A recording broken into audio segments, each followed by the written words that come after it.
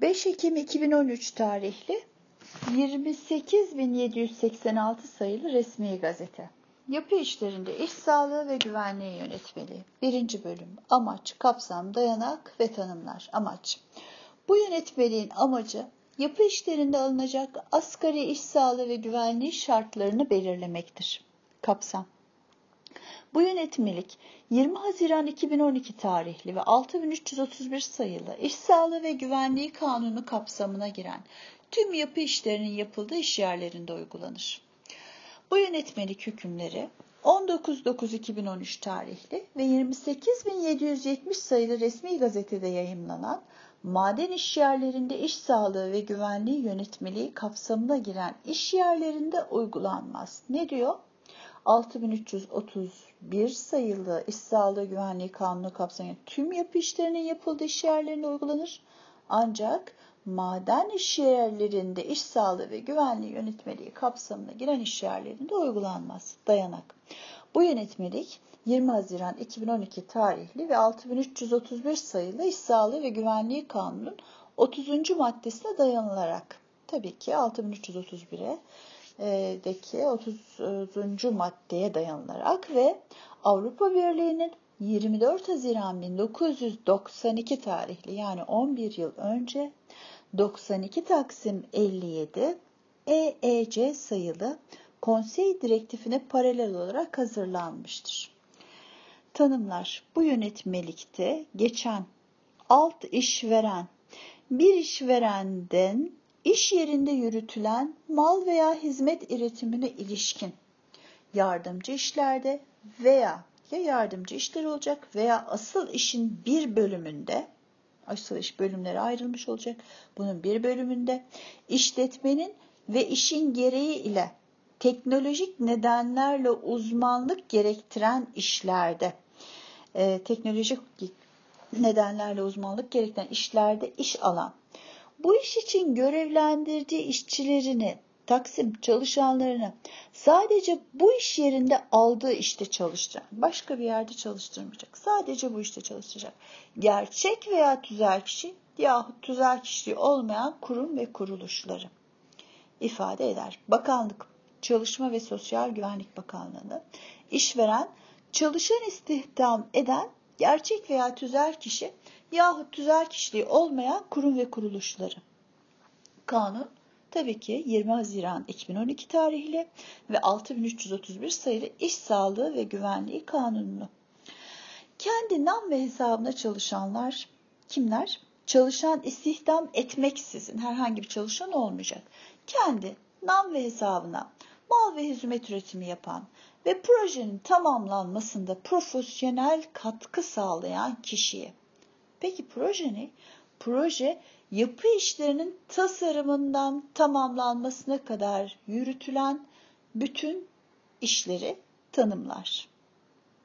Bir düzeltme yapmak istiyorum.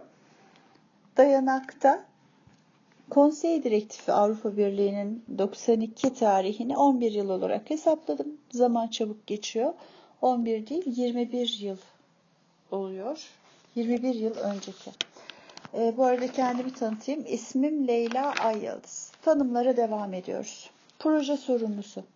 İşveren tarafından görevlendirilen ve işveren adına projenin hazırlanmasından, uygulanmasından ve uygulamanın kontrolünden sorumlu gerçek veya tüzel kişi. Proje sorumlusu işveren tarafından görevlendirilecek ve işveren adına projenin hazırlanmasından, uygulanmasından, uygulamanın kontrolünden sorumlu gerçek veya tüzel kişiyi tanımlıyor. Sağlık ve güvenlik koordinatörü projenin hazırlık ve uygulama aşamalarında işveren veya proje sorumlusu tarafından sorumluluk verilen sağlık ve güvenlik koordinatörüne hem işveren hem proje sorumlusu e, sorumluluk verebiliyor. Ve bu yönetmenin 10. ve 11. maddelerinde belirtilen sağlık ve güvenlikle ilgili görevleri yapan gerçek veya tüzel kişiler tanımlıyor. Sağlık ve güvenlik planı ise bir plan var. Sağlık ve güvenlik planı. Muhtemel risklerin değerlendirilip, riskler nedir? Yapı işi süresi boyunca sağlık ve güvenlik ile ilgili alınacak tedbirleri, organizasyon yapısının, çalışma yöntemlerinin ve bunlara ilişkin işlerin ne zaman, kim tarafından yapılması gerektiğinin belirlendiği, aynı yapı sahasında faaliyet gösterecek farklı işverenler, aynı yapı sahasında farklı işverenler var ya da alt işverenler var. Kendi nam ve hesabına çalışan kişiler olabilir ve farklı çalışma ekipleri olabilir. Bunların arasında sağlık ve güvenliğe dair hususların koordinasyonunun sağlanması amacıyla yapı alanının tamamından sorumlu işveren veya proje sorumlusu tarafından hazırlanan veya hazırlanması sağlanan planı. Yani yapı alanı tamamından sorumlu işveren veya proje sorumlusu tarafından hazırlanan, illa kendileri hazırlamak zorunda değil veya hazırlanması sağlanan planı ifade eder. Yapı alanı yapı işleri yürütüldüğü alanı ifade eder. Yapı işleri nedir? Yapı işleri inşaat ve çeşitli mühendislik işlerinin yürütüldüğü yer üstü ve yer altında, su üstü veya su altında, su üstü veya su altında yapılan ek birde yer alan işler ile benzeri diğer işleri ifade eder. Ek birde neler var? Yapı işleri listesidir ek bir. Bir, kazı, yarma, doldurma işlemleri. İki, hafriyat. Üç, inşa. Bunlar ne? Bina, set, baraj, yol, demir yolu, havai hat, tünel, metro, köprü, çelik yapı, iskele, liman, dalga kıran, gemi, gemi de bir inşa, kanalizasyon, lağım, kuyu, kanal, duvar, sıva badana boya işleri, elektrik tesisatı, sıhhi tesisat, kalorifer tesisatı, dülgerlik, marangozluk, 4. Prefabrik elemanların inşası ve sökümü, 5. Montaj işleri, değiştirme ve donatma, tadilatlar, yenileme, tamir, söküm, yıkım, restorasyon, bakım ve boyama ve temizleme, drenaj, bu ekte belirtilen işlerde kullanılan, biraz önce saydığımız işlerde kullanılan sabit ve hareketli makine ve tesisleri kullanma kapsar, kapsar yapı işleri listesi ek 1. Yapı işlerinde iş sağlığı ve güvenliği yönetmeliğine devam ediyoruz. İsmim Leyla Ayyıldız. İkinci bölüm. İşverenlerin ve diğer kişilerin yükümlülükleri ve sorumlulukları. İşverenlerin yükümlülükleri. Madde 5. İşveren yapı işlerinde kanunun dördüncü maddesinde belirtilen yükümlülüklerin yanında özellikle aşağıdaki hususları sağlar. Sonra dördüncü maddeye de döneceğiz. A. Yapı alanının düzenli tutulmasını ve yeterlikte temiz, yeterli temizlikte olmasını. Düzen tutulacak, temiz olacak. B. Yapı alanındaki çalışma yerlerinin seçiminde buralara ulaşımın nasıl sağlanacağının ve ekipman, hareket ve geçişler için alan ve yolların belirlenmesini. C malzemenin kullanım ve taşıma şartlarının düzenlenmesi, malzemeleri kullanımı ve taşıma şartları nasıl olacak? Tesis ve ekipmanın kullanılmaya başlamadan önce ve periyodik olarak teknik bakım ve kontrollerinin yapılmasını, çeşitli malzemeler ve özellikle tehlikeli malzeme ve maddeler için uygun depolama alanları ayrılmasını ve bu alanların sınırlarının belirlenmesini. E tehlikeli malzemelerin kullanımı ile uzaklaştırılma koşullarının düzenlenmesini. F. Atık ve artıkların depolanmasını, atılmasını veya uzaklaştırılmasını. G. Çeşitli işler veya işin aşamaları için öngörülen sürelerin yapı alanındaki işin durumuna göre yeniden belirlenmesini yumuşak ki alt işverenler ve kendi nam ve hesabına çalışanlar arasında işbirliğini. H. Yapı alanındaki veya yakınındaki endüstriyel faaliyetler ile etkileşimin dikkate alınmasını. I. 2.7.2013 tarihli ve 28695 sayılı resmi gazetede yayınlanan kişisel koruyucu donanımların, kişisel koruyucu donanımlar hep en sonra iş yerlerinde kullanılması hakkında yönetmeliğe ve uyumlaştırılmış ulusal standartlara uygun kişisel koruyucu donanımların bulundurulmasını ve çalışanlar tarafından kullanılmasını yapı alanında uygun sağlık ve güvenlik şartlarının devamının sağlanması için işveren ve alt işverenler neler yaparlar? A. Özellikle birinci fıkranı yani az önce anlattıklarımızın uygulanmasında ek 4'te belirtilen asgari şartları dikkate alarak uygun tedbirleri alırlar. Ek 4'teki asgari şartlar kısaysa hayır çok uzun. Onu ayrı bir başlık altında okumamız gerekiyor. Oraya bir parantez açıp sonra dön döneceğimizi söyleyelim.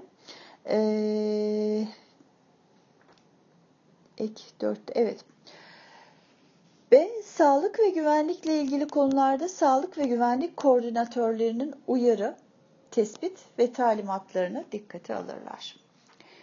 3. İnşaatta yapılan çalışmalara bizzat katılmaları halinde işveren ve alt işverenler bizzat katılıyor ise yapı alanındaki uygun sağlık ve güvenlik şartlarının sürdürülmesi için sağlık ve güvenlik koordinatörlerinin sağlık ve güvenlikle ilgili konularda görüş ve önerilerine dikkate alır.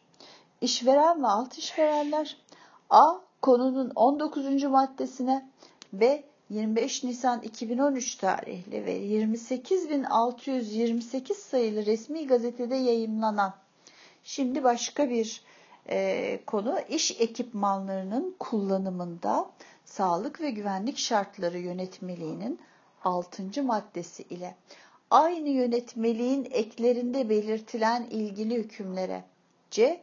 Kişisel koruyucu donanımların iş yerlerinde kullanılması hakkında yönetmeliğin 5. maddesi, 6. maddesinin 1. fıkrası A, B, C, Ç, yumuşak G bentleriyle 7. maddesine uygun olarak hareket etmek zorundadır. Devam ediyoruz. İsmim Leyla Ayıldız. Proje sorumlusu ve işverenlerin sorumlulukları. İşveren bu yönetmelikte belirtilen yükümlülükleri bizzat yerine getirebileceği gibi kendi adına hareket etmek üzere gerekli fedni yeterliliğe sahip olan bir veya daha fazla proje sorumlusu tayin edebilir. Bir veya daha fazla. İş sağlığı ve güvenliği konularında bir veya birden fazla sağlık ve güvenlik koordinatörü görevlendirilmesi, proje sorumlusunun veya işverenin sorumluluklarını ortadan kaldırmaz. Neymiş? E, sağlık ve güvenlik koordinatörünün görevlendirilmesi proje sorumlusunun veya işverenin sorumluluklarını ortadan kaldırmazmış. Bu yönetmeliğe göre sağlık ve güvenlik koordinatörleri atanmış olması ve sağlık ve güvenlik koordinatörlerinin kendi görevlerini yapmaları alt işverenin sorumluluğunu etkilemez. Diğer kişilerin yükümlülükleri. Madde 7 yapı alanındaki uygun sağlık ve güvenlik şartlarının sürdürülmesi için kendi nam ve hesabına çalışanlar, sağlık ve güvenlik koordinatörlerinin uyarı ve talimatlarını dikkate alırlar. Kendi nam ve hesabına çalışanlar, A. Kanunun 19. maddesi ve 23. maddesinin 1. fıkrası ile bu yönetmenin 5. maddesinin 1. fıkrası ve ek 4'te. B iş ek 4'e yeniden dönecektik. B. İş ekipmanlarının kullanımında sağlık ve güvenlik şartları yönetmeliğinin 6. maddesiyle aynı yönetmeliğin eklerinde belirtilen ilgili hükümlere. C. Kişisel koruyucu donanımların iş yerlerinde kullanılması hakkında yönetmeliğin 5. maddesi, 6. maddesinin 1. fıkrasının A, C ve yumuşak G bentleriyle 7. maddesine uygun olarak hareket etmek zorundadır.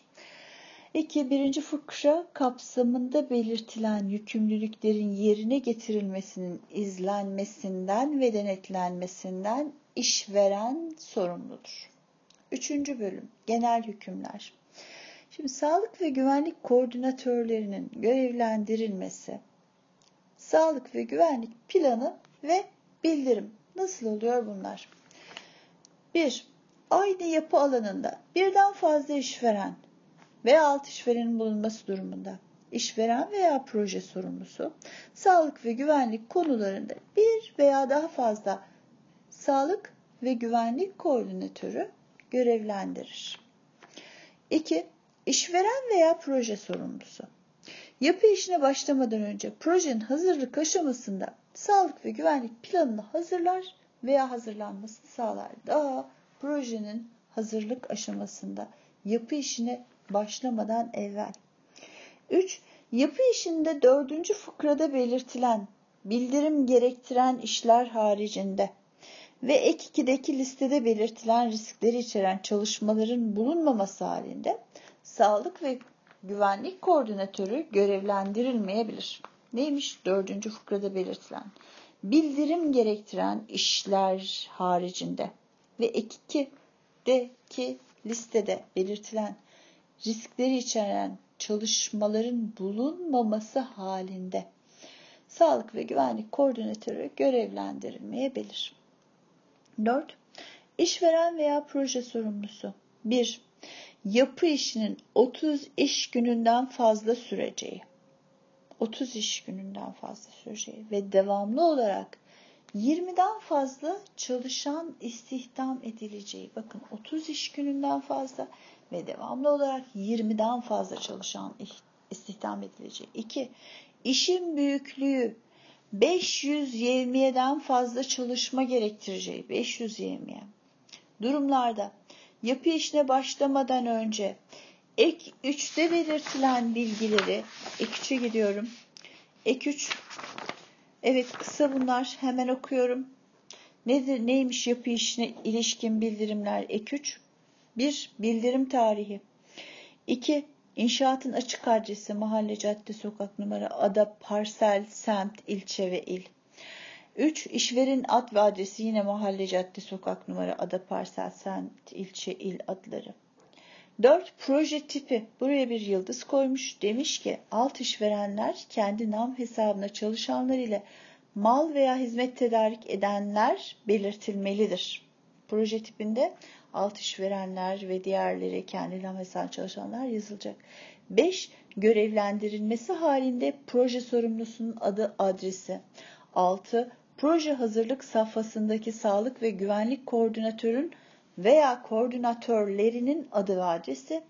7.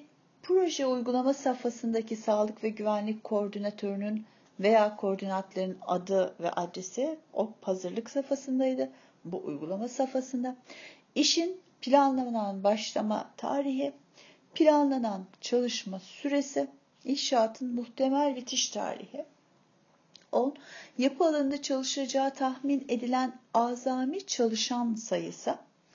11 yapı alanında bulunması muhtemel yüklenicilerin buraya bir iki yıldız koymuş. Biraz önceki tek yıldızı yanlış okuduk. Proje tipinde yapılan inşaatın yapı çeşidi evet pardon yazılacaktır. Köprü, bina, yol gibi.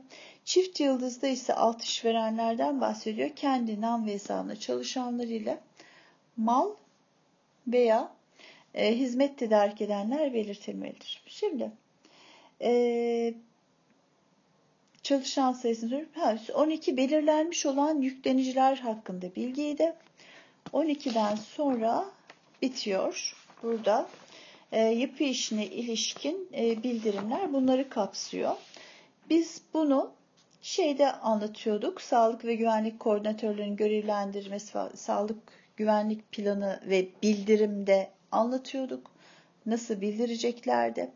E, ek üçte belirtilen bilgileri içeren bildirime bakanlığın ilgi çalışma ve iş kurumu il müdürlüklerine vermekle yükümlüdür demiştik. 5. Bu bildirimde belirtilen bilgilerin yer aldığı levha açıkça görünecek şekilde yapı alanının uygun bir yerine konulur gerektiğinde bu bilgiler güncellenir. Proje hazırlık aşamasında genel prensipler. İşveren veya proje sorumlusu projenin tasarımının yapılması ve hazırlanmasının çeşitli aşamalarında özellikle de aşağıda belirtilen durumlarda Kanunun 5. maddesinde belirtilen risklerden korunma ilkelerini göz önünde bulundurur. A.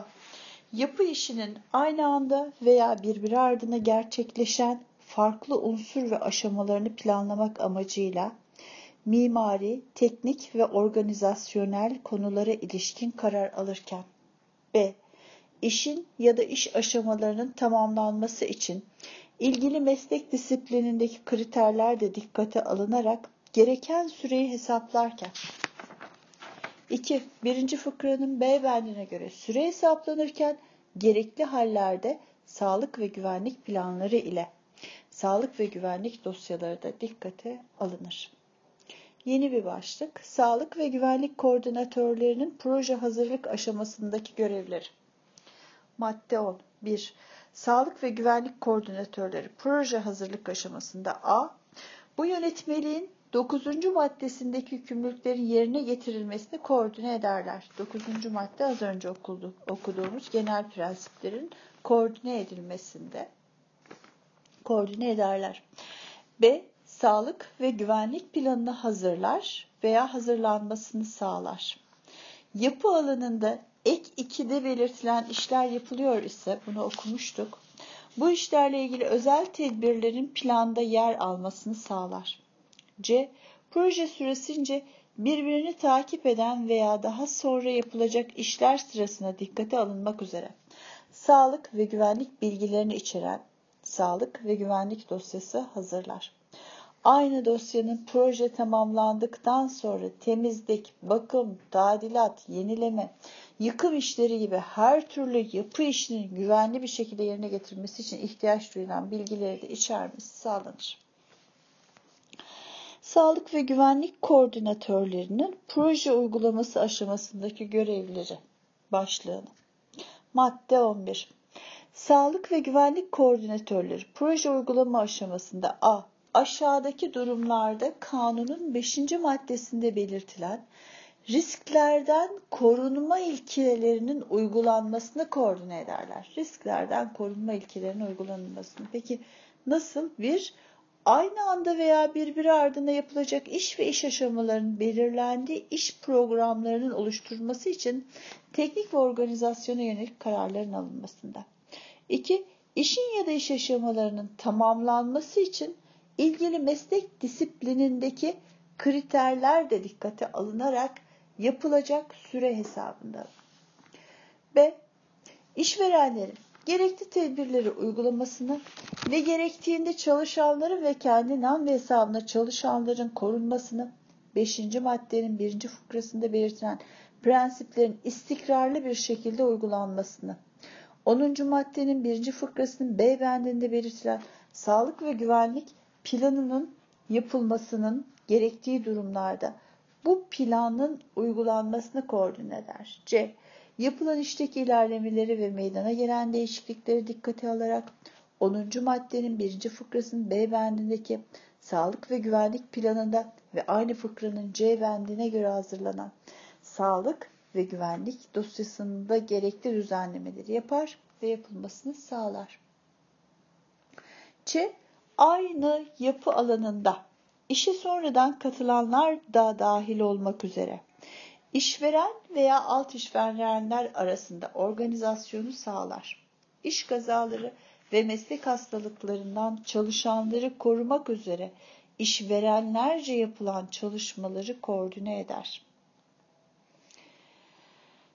Sağlık ve güvenlik koordinatörleri bunları yapıyor. Kanunun 23. maddesinin 1. fıkrasında belirtilen işverenler arası bilgi alışverişinin sağlanmasına katkıda bulunur ve gerekli hallerde kendi nam ve hesabına çalışan kişilerin de bu çalışmalarda yer almasını sağlar.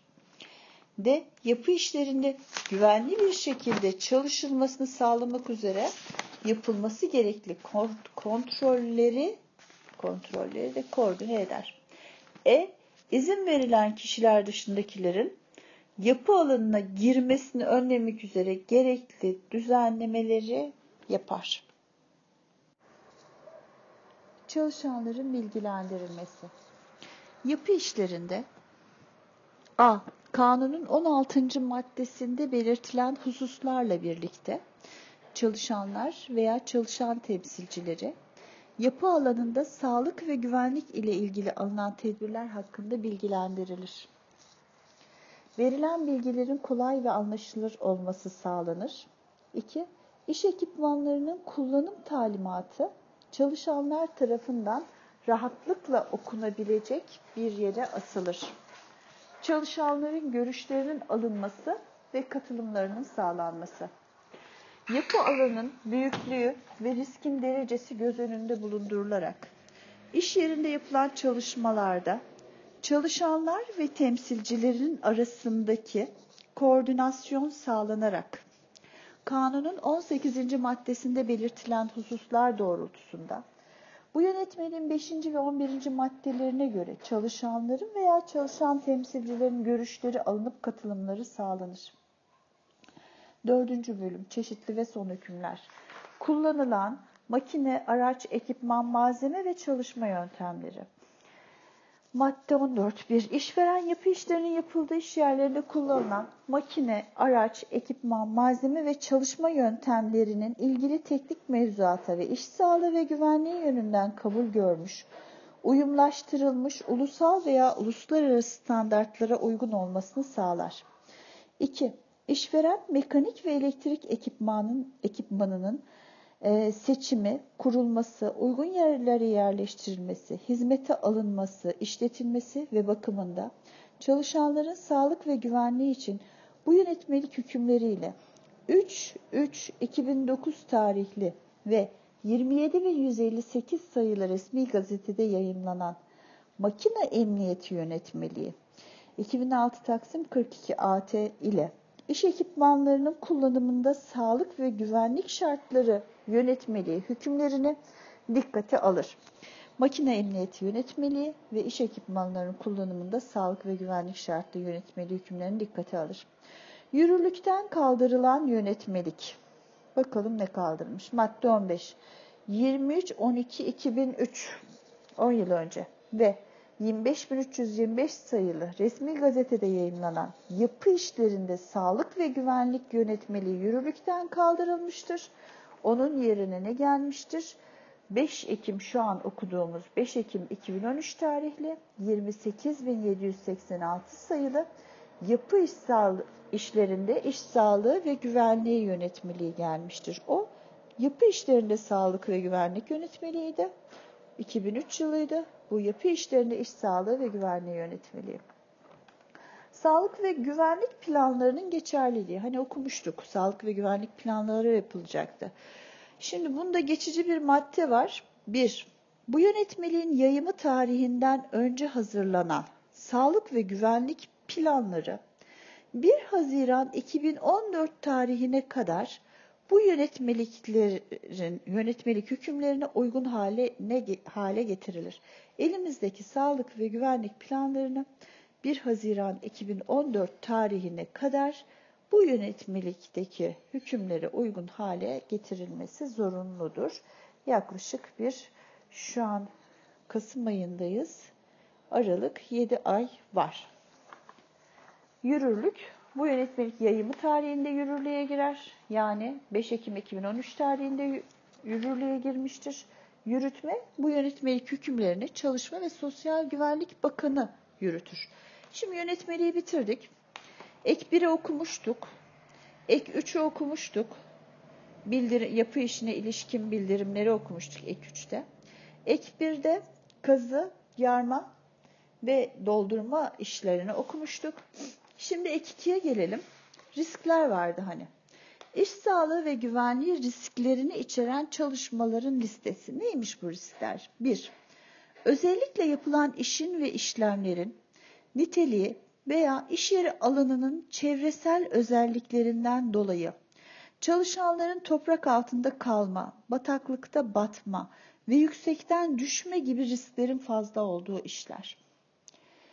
Çevresel özelliklerinden dolayı toprak altında kalma, bataklıkta batma, yüksekten düşme gibi risklerin fazla olduğu işler. Bu iş sağlığı ve güvenliği riskleri içeren çalışmaların listesi. 2. Çalışanın işin yürütümü dolayısıyla maruz kaldığı özel tehlikelere yönelik sağlık gözetimi gerektiren veya kimyasal ve biyolojik özelliklerinden dolayı e, biyolojik özelliklerinden dolayı çalışanların sağlık ve güvenlikleri için risk oluşturan maddelerle yapılan işler. 3. 24-3-2000 tarihli 23.999 sayılı resmi gazetede yayımlanan radyasyon güvenliği yönetmeliği uyarınca denetimli ve gözetim alanların belirlenmesini gerektiren iyonlaştırıcı radyasyonla çalışılan işler. Neymiş bu iyonlaştırıcı radyasyonla çalışılan işler? Aç, açıyor mu? Açmıyor. Dörde geçiyor. Yüksek gerilim hatları yakınındaki işler. 5. Boğulma riski bulunan işler. 6. Kuyu, yeraltı kazıları ve tünel işleri. 7. Hava beslemeli sistem kullanan dalgıçların yaptığı işler. 8. Basınçlı hava sağlanarak keson içinde yapılan işler. 9. Patlayıcı madde kullanımını gerektiren işler. 10. Fiziksel özelliklerine bağlı olarak yüksek ses, titreşim, basınç farkı, toz oluşması gibi risklerin fazla olduğu işler. 11. Ağır prefabrik elemanların montaj ve söküm işleri.